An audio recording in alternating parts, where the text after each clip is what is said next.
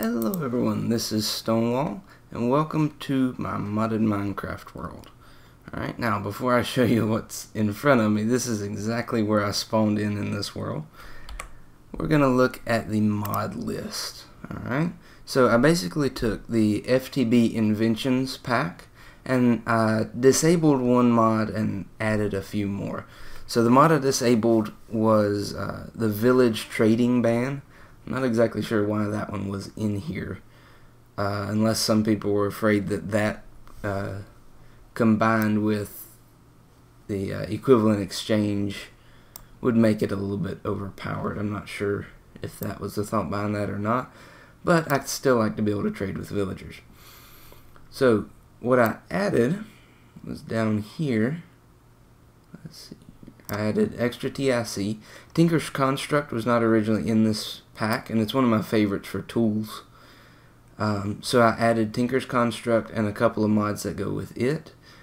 And then one other mod that wasn't in here was extra utilities. Alright, so I added extra utilities. Open blocks was already in here, um, but here's just a little run through of some of the mods in this pack immersive engineering I haven't done much with. Done a little bit with industrial craft. JABBA is really good for storage. Iron chest as well. Uh, journey map. I don't think I'd want to play much modded Minecraft without journey map. It is awesome. Uh, that and of course Waila really make modded or in NEI uh, make modded Minecraft playable. without NEI, things like that, it would be so hard to figure out everything. You'd have to keep up about uh, 20 tabs open on the on your internet browser to keep track of how to make things. Pneumatic craft I haven't done much with. I've seen some played uh, with that. Schematica, uh, jetpacks, solar expansion, so solar power generation. Thermal expansion, uh, dynamics and foundation that I have played with some. Uh, TIC tooltips give you some extra information whenever you're looking at Tinker's Construct stuff. Um, but yeah, tree capitator automatically takes out the trees if you break the bottom block. And that's about it. Um, so yeah, so it's a decent mod pack. I tried a bigger one, but my computer really just couldn't handle it. Uh, the FTB Infinity pack was just a little bit much for this PC. So the computer I'm playing on has a um, Core i5 processor and integrated graphics. There's no extra graphic card. It's just a uh, Dell Inspiron uh, laptop. So it's not much of a gaming PC. So anyways, let me show you this world we spawned into. And this is exactly where I spawned. So over here we've got a uh, little volcano right next to a village, and it happens to be a blacksmith. So let's go see what we got. I'm sorry for the frame rates. This is kind of rough. Alright. Really? Steel.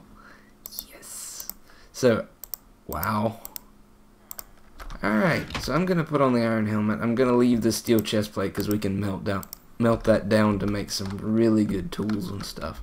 A little bit of food, but that steel is really nice because it takes a little bit after getting started to be able to get that. So let's uh, let's see what we got in this village. Uh, nothing in here. Any no beehives. And I don't really have any blocks yet. What do we got? Uh, arrows. Uh, well, that's interesting. Certus quartz. yeah, emeralds for leather. Not really the greatest. Uh, no, I can make that on my own, thank you. Alright. So I'm gonna... Excuse me, Mr. Mother. I'm gonna explore this village a little bit see what we can find.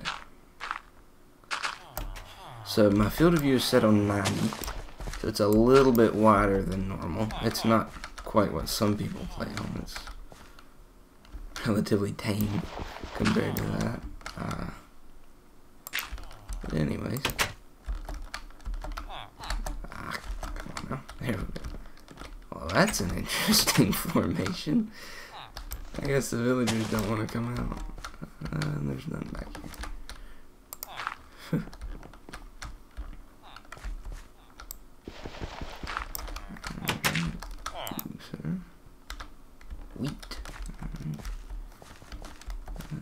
A well. Oh. they already have a tinker's smeltery set up. See, is there anything in here worth going after? Not really. So, a railcraft building probably has an engine in it and maybe a machine. Let's see, yep. Rolling machine. And coal coke, really good fuel.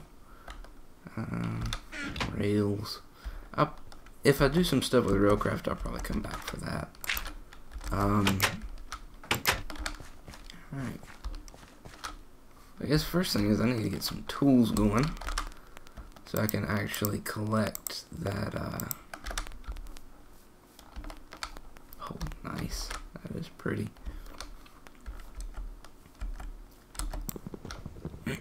So I can collect that smeltery. That will save me a lot of time getting some stuff set up.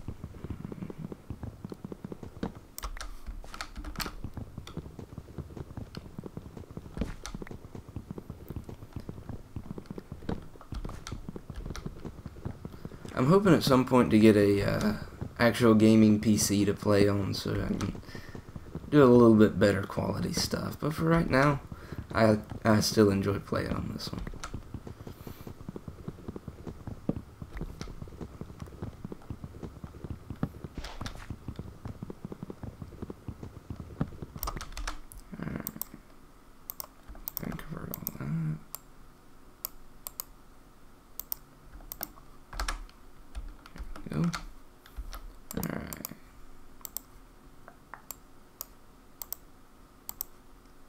I'm just gonna make a pick real quick and go get some stone. I might actually cut out a lot of this uh, first preparation because if you've watched many Minecraft videos at all, you've seen this over and over and over again. Alright, so there it is. Went ahead and picked up both sets of casting tables and basins. The only thing I'm missing now is I need to get some uh, some brick to make drains and uh, a controller and tank. I'll have a really good sized smeltery setup.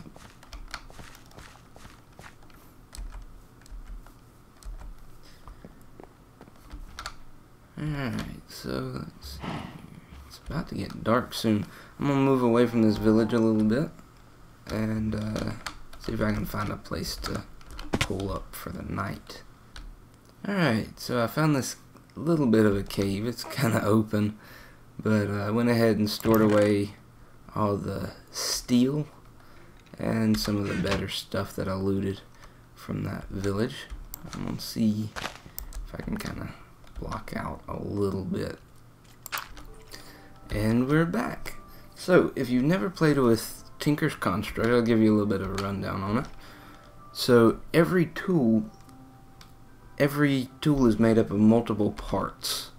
Um, so for instance, if I'm going to build a pickaxe, I have to have a pickaxe head, a tool binding, and a tool rod. You can just use a stick, or you can actually use bones for that, or you can make one out of stone or some other material.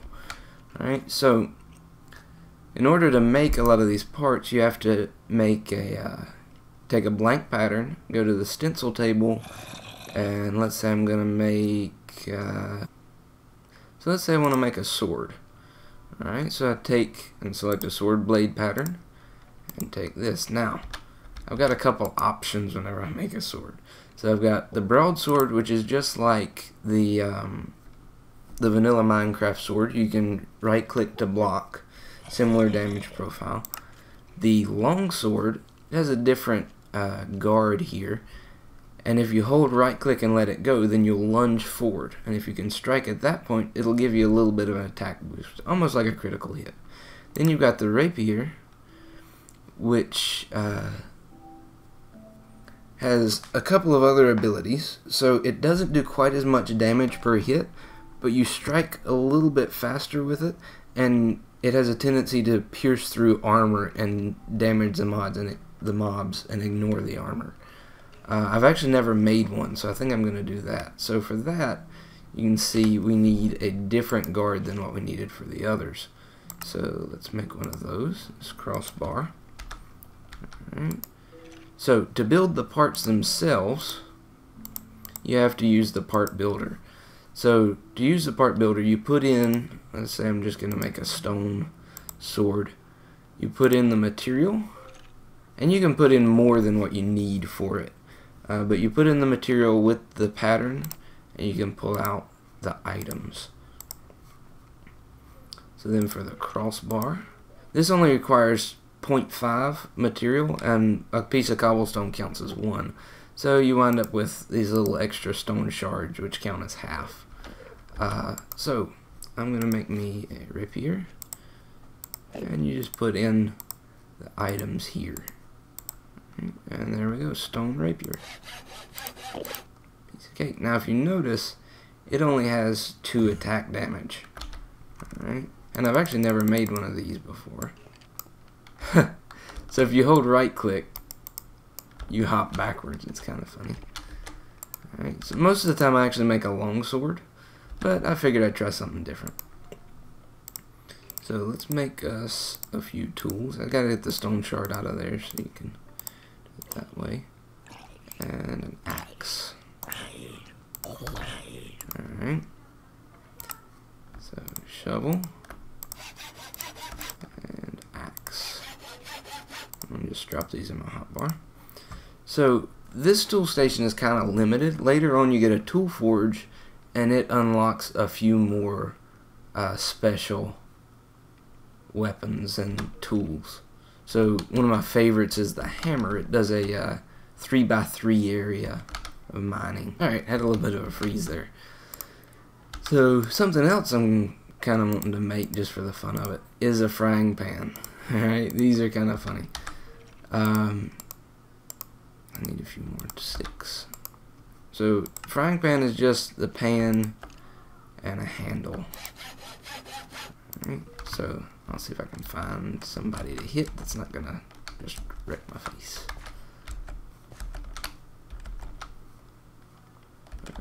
This is a really good tool to use on creepers uh, because it has knockback and slowness effects. So whenever you hit somebody with it, and especially creepers, you can get out of their range a lot easier. I guess they're below me somewhere. Might be a cave. Yep, looks like a cave system here. I'll have to check that out. Some copper. Uh, there's a tree growing down there. Yeah, I'll have to explore some of that. And here's a skeleton. So it doesn't really work the greatest on skeletons because they need range to do any good. Ooh, I'm lucky. that was close. I think I've got a helmet on, right? Uh, so that was not a really good example of how good this pan is. But the other thing is, if I can get out of here, you can lay the pan down and cook food in it. Uh, which is kind of kind of a neat little thing if you don't want to set down a uh, furnace or something like that.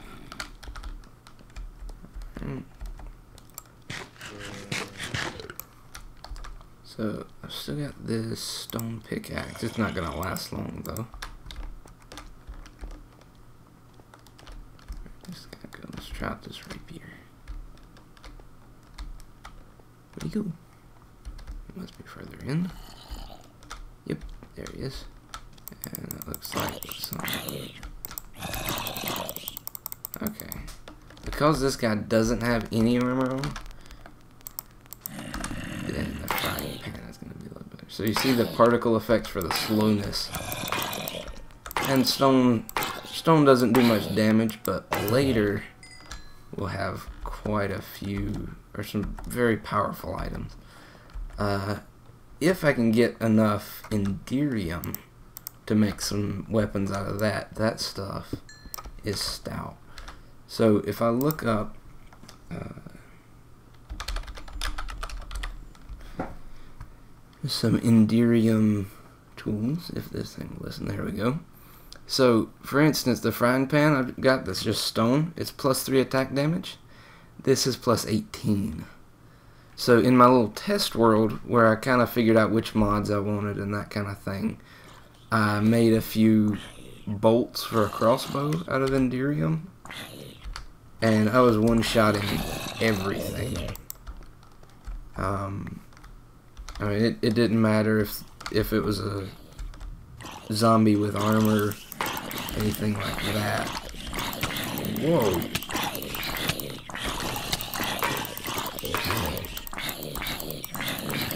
This is awful. Wow, is there a spawner down there, or is it just... Okay, I gotta... Run away! Run away! Eat!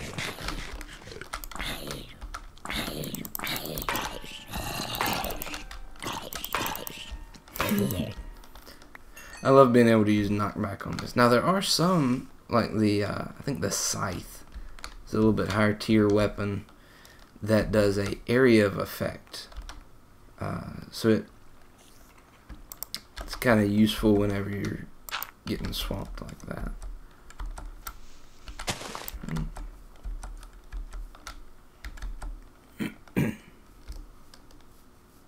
let's get back to my little cave and make a few more tools.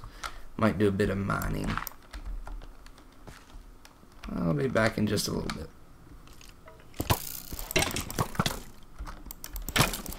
Skeleton army is coming. Come on, get up here. Oh, Come on. Oh. Okay, that was not skill. That was luck. Alright, so I was down here mining a bit and came across a bunch of skeletons. There's a creeper. Uh, no, no, no. I'm gonna die. Alright, so this is gonna be rough. I'll be back whenever I've got my stuff.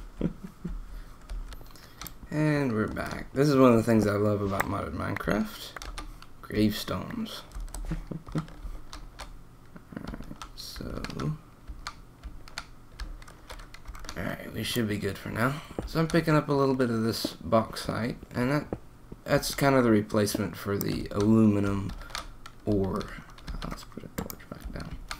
So one of the ways I kind of keep track of uh, where I am and everything and when I'm caving is anytime I can, I try to put the torches on the left-hand side. It's, it's just a habit I've kind of developed. It's it's. I didn't read it anywhere. I just started doing it so I could figure out which direction I was headed. Lovely freeze there. Alright, grab some more of this. And of course with Journey Map I can kind of keep an eye on uh, nearby mobs, but as we get deeper into caves and things like that, it becomes really nice to uh, to be able to find other caves. So if I start branch mining and things like that, all right, we got some iron and some warberry bushes. Nice. So I'm just kind of going through here. Whoa. I don't think I even saw any of that uh, in my test world. I guess I just didn't come across any of it. And I can get back out. just in case I run into another creeper. let's get a few more torches. Yeah, let's, let's go ahead and turn the rest of this into torches.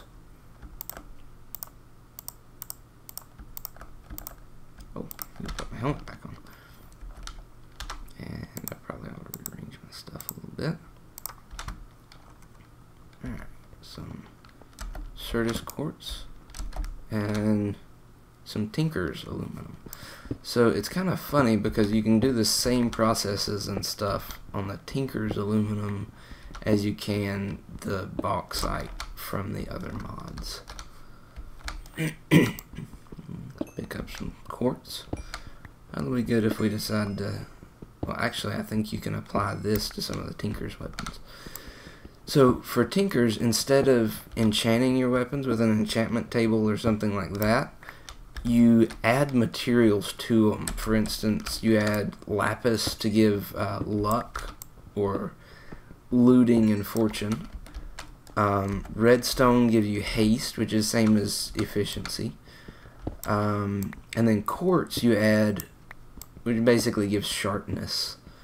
Uh, there's a few others. You add a, a mossy, a ball of moss to uh, give it the mossy modifier, and what that does is it over time, the uh, tool or the weapon will regain durability. Nice. And got charge quartz. And one of the nice things is up at the top you see the uh, which stands for What Am I Looking At? Um, it tells you the harvest level of all the materials. So I can look at that and see harvest level redstone. I only have harvest level iron for a stone tool. So I need to make some better tools to be able to harvest that. Otherwise it won't drop the block, it'll just destroy it. Uh, but yeah.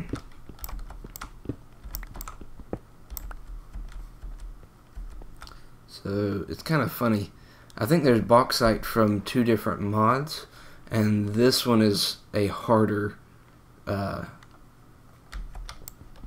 mining level, or a higher mining level.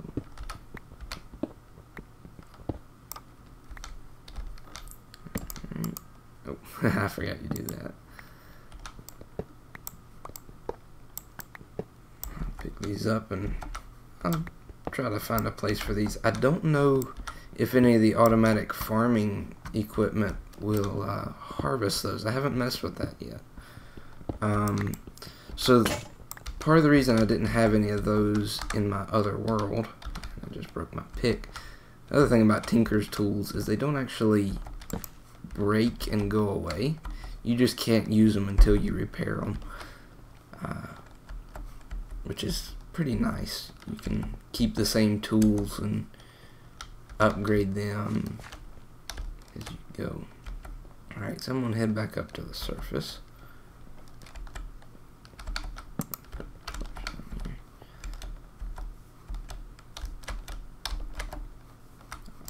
Get me out of here. So, where is my little cave? I think it's up here. And it's getting daylight. the village looks pretty cool. And here we are, back in the cave. Alright, so I'll kind of get a feel for uh, what you guys like to see. I know there's not very many of you right now. Um, oh. There. But anyways, I'll get a feel for what you like to see, how much you like to see uh, cut out, or if you want me to put everything I do on camera. Um, that's fine. And of course it's raining. But anyways, yeah. I will see you in another video.